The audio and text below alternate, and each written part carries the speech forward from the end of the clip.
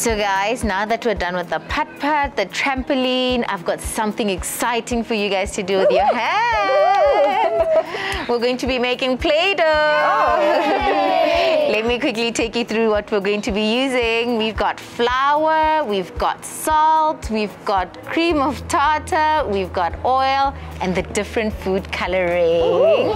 so maybe one of you is going to make pink, the other one will make red, the other one will make green, or maybe even mix the colors. So guys, let's get rolling. and I put the flour in. Yatla, bring yours closer so I can assist you there.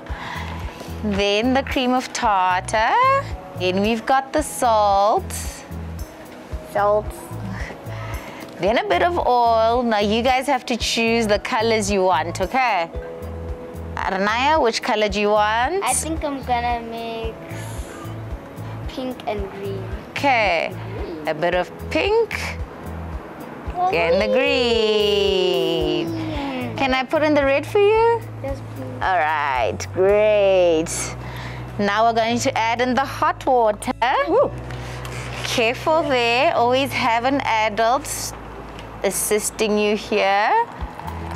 There we go. A bit of hot water on that one too. Great, now dig in with your spatulas, guys. So if your consistency is a bit too watery, just add more flour. And if it's too thick, add a bit of water again. There we go.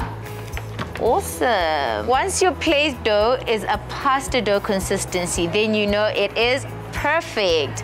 And now because it is cold, you can set aside your spatulas and use your hands.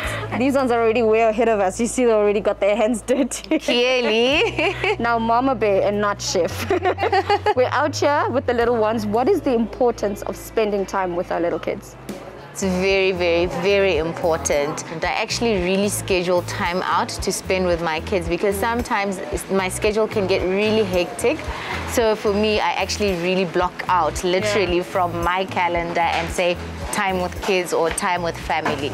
Because you get to know your children a bit more, you get to conversate with them and do a lot of things with them. And what activities do you personally do with them to keep them mentally stimulated? apart from cooking we've got a lot of things that we do. For example we have movie nights. And for movie nights they prepare the snacks for movie nights. Um, we've got game nights. So we have different board games that we play. But we also have um, like books of um, past crosswords so they w- we would then have a competition of who's going to finish the crossword quicker or the fastest so yeah those are some of the things that we do apart from also playing soccer outside because we obviously have to do some physical activity. Yeah. Now, you brought out the Play Doh today. Is there a reason why you chose Play Doh specifically? Well, I was thinking about these little ones. Look, um, just with the mixing, you know, the mixing of the different ingredients, obviously that stimulates the mind. Also using the, their hands for touch, so that's the sense of touch, and creativity on what they're going to be creating with the Play-Doh. So he wants to do something like a Spider-Man, she wants to do Barbie doll, you know, so it always brings out some bit of creativity in them. Is that a reason why you also use different colors? Because that's also helping them with their memory for color stimulation. That's very important because that's another thing. Then you can always ask them, what color is mm. this? What color is that? What color bowl do you want? Yeah. You know, so that you can see do they actually remember colors. Yes. So yeah. That's quite important when it comes to stimulation. And of course, fun. And of course, most importantly, spending, time, with them. True, true. This has been an amazing experience, Naledi, just getting to spend time with our little ones, you know, and all the lessons you've taught us today, especially that Play-Doh recipe. Thank you so much. Oh, you're welcome to me. It's been such an amazing experience having you and the little ones with me. I hope you certainly have learned quite a bit about entertaining them. Thank you once again. Thank you. Only tuning in now, where have you been? You missed our fish cakes And you also missed the fritters, but luckily we've still got something in store for you. Chef, we are in the third part of our cook along and you've got something very interesting in store for us, right? Yes, definitely. Um, we've got baked chicken goujons, well, cheesy as well. So quite excited about it. Okay, okay, okay. For the layman's terms, what is goujons? What are goujons? what exactly goes into that? So it's just basically strips. So you can have fish goujons, the chicken ones. So it's just basically your cut into, your chicken fillet cut into strips. Okay. Okay. And what exactly goes into this dish? Okay, we've got our chicken fillet, we've got um, eggs, we've got breadcrumbs, which we're going to also put um, cheese into it. So we're going to grate the cheese. And then to go with this, we've got a dip which is mayo and sweet chili, as easy as that. You know, the one thing I've seen throughout this cook along is that you've kept the ingredients very si simple, very simple, very easy, and also very economical. I mean, all of these ingredients I'd like to think most people have in their pantry or fridge. So it also saves you a whole lot of money, right? Look, the easiest thing to do, stress free, look for ingredients that are easily accessible, ingredients that are commonly used in the household. Yeah, yeah. okay, perfect. So let's get our hands dirty, guys. Um, I'm gonna start grating. Okay, first you're gonna show us exactly how to cut those goujons you talked about. so we're going to take our chicken and basically just cut it into strips. Okay. There we go. The way you guys are looking at your mom, it's as if you're curious about cutting this. Have you ever made the goujons yourself before? Yes. Mm. Yes. Yaya has with the other kiddies cook along. so she's sort of my assistant with the kiddies cook along classes. So that's why she's done so many of the dishes. Okay, perfect. okay, chef, is there a specific technique you want to use when cutting the chicken or just just cut it into finger size strips so you don't need a specific remember you're also doing it for kids so nothing too fancy as well. Okay. Yep. All right and the next step? Can i cut yatla can you take us through the next step? Next step i'm going to be cracking these eggs. Okay. What's wrong? I want to cut.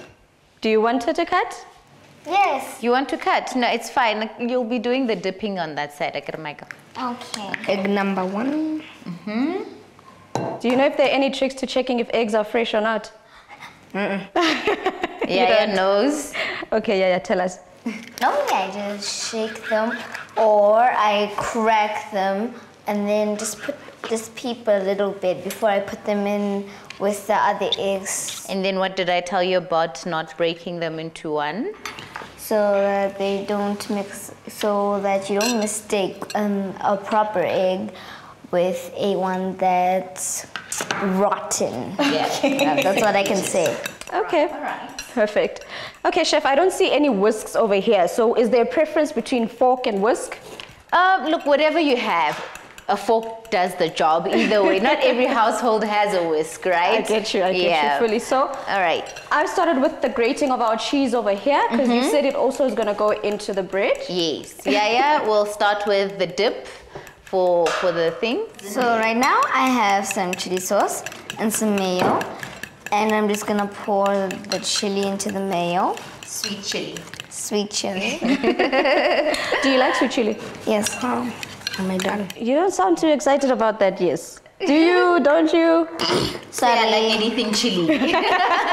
does she though? She does. She does. Yeah. Right. Chef, in here right now we've got some mayo and some sweet chili sauce, but you could obviously also use perhaps chutney. Yes, and even barbecue sauce. So anything goes, almost anything goes.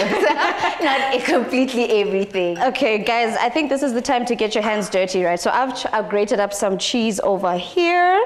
All right, Chef, um, what's the next step for this recipe now? Okay, um, I'm just going to get this in order for them so that it's easier for them to work with.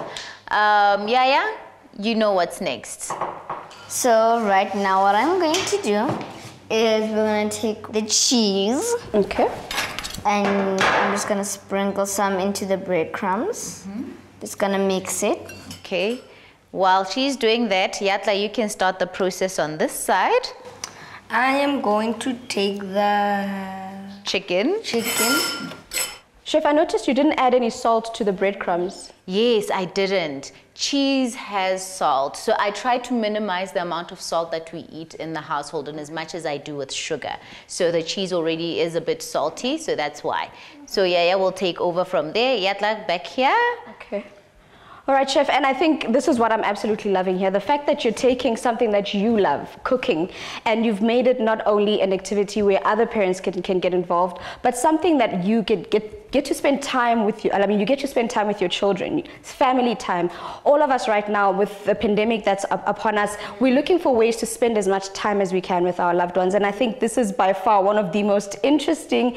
Yes, it's time consuming, but it's it's a it's a leisure of love. Yeah. Uh, no, definitely. Look, I I call it um, educational fun. because remember, whatever you're teaching them, nobody else can take it away from them. So it's a lifetime skill for them. They maybe in the future will transfer it to their children as well. So yeah, it's, it's a really good way to spend time with your children educating them. We need to minimize screen time. Yeah. But I think most importantly as well is to teach them the benefits of each ingredient that we use. Because you know children can be very picky eaters like Yeah. I said. So if you teach them as you go along, eat this, eat that, eat that, and those are the reasons. He's a soccer player. so he drinks, what do you drink a lot? What do you love?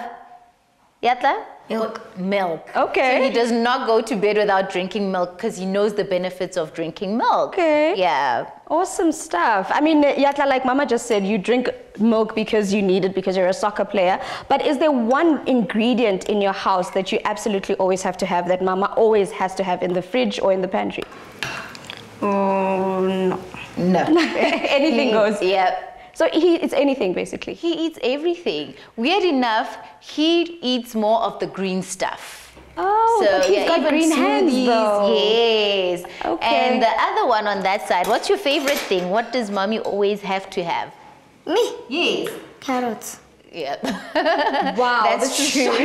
she snacks on carrots. That's actually quite interesting that our kids are like that because I know with my son, he absolutely loves cucumbers. So to find out that they're not mentioning any sweets, they're not mentioning any, yes, they might have a sweet tooth, but they're still mentioning stuff that's quite on the healthier side of life. That's good. Isn't that great? That is actually, especially for us, because you know, um, veggies and so forth are much more economical than all that stuff that has all that sugar. So, chef, you guys are still breading the chicken goujons for us. We need to bake these in the oven. How no, how long would you want to bake this for, and at what temperature? Um, so we've preheated the oven to 180 and then I will leave them in there for about seven minutes before I turn them over. We've spread this already um, so that it doesn't stick to that. Okay, perfect. turn them over for another five minutes or so. All right. And besides chicken and fish, is there another type of protein that we could use for this? Because I'm thinking right now, perhaps a, a- a- cheese like halloumi could work if someone is trying. If somebody's, yeah, that's definitely um, something vegetarian. Chef, I remember the one time I went to Belgium, and uh, another alternative could possibly be avo, because I actually saw them deep frying avo, right? So that's an, another alternative that people could use, right? Definitely. Look, we even deep fry baby marrows these days. I know, so you can even try it vegetarian. Yeah. That actually is a great option. So we're not leaving anyone out. If you're a meat eater, you can definitely do the chicken and uh, the fish. If you're a vegetarian, you could use the halloumi. And if you're uh, Uh, vegan, you could actually leave out the cheese altogether and just use avos and breadcrumbs, right? Definitely. But now there's also dairy free, lactose free cheese that you can try. That is also very true. All right, into the oven it goes, guys. Last one. Last Then one we'll in. put it into the oven. And South Africa, remember to get your hands on these amazing recipes, all you need to do is to go to afternoonexpress.co.za for the full ingredients list and steps. Now, chef, we're on the third recipe, but you promised us a fourth. I did, I did, and I always keep my promises. so remember I said we're trying to move away from juices, so we're going to make a very refreshing, fruity homemade iced tea. Well, chef, that sounds absolutely refreshing. So why don't you guys go get the picnic setting ready while your mom and I make that iced tea. So South Africa, join us after these.